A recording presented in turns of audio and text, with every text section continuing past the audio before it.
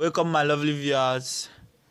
Yeah, welcome to my YouTube channel, Swanky Gameplay.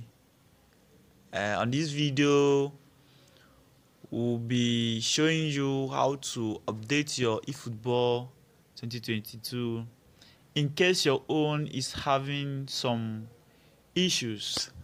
I'm doing this video because I tried updating my own today and my own had some issues. So it's just simple thing that you have to do and you update your own. So let's go. I'll be showing you what you do.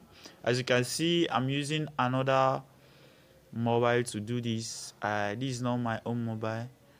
So on this video now, I've not downloaded the video, the app as you can see so in case you want to update your um eFootball to version 1.12 and uh, it's not working because how my own did you try to update it and it is not working. So you just come here you come here you can see the important changes to system requirements. You can see it.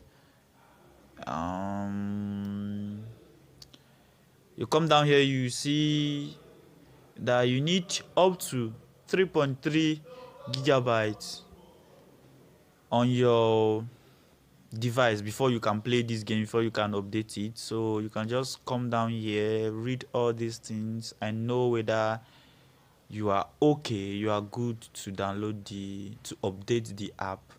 Then once you free up your space once you free the space on your phone then you can now come back and press update and it will update automatically and you can play the game. So i think we are done with this video. So if this video was helpful to you just click on the red subscribe button and subscribe to this youtube channel.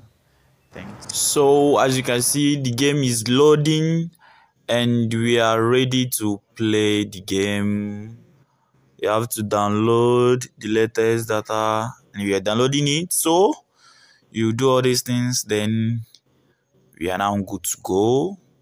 Boom boom boom boom boom. Let's go. So this is the game. So we are ready to play. So if you are watching this video you can subscribe to my youtube channel for more educative video on eFootball 2022. So we love you. See you next time. Peace out.